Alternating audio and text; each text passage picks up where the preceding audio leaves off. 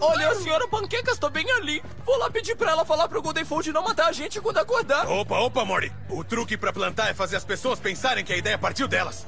Olha só, se vamos plantar a ideia nela, temos que nos misturar. Falo com você depois do almoço.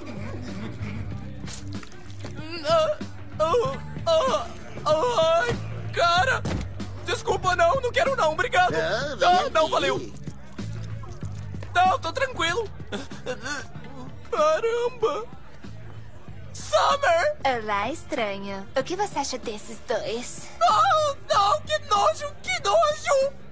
Opa, opa, mas qual o problema com você, Morty? Calma aí, você tá acabando com a vibe É, aqui. é, é a Summer! Ah, credo.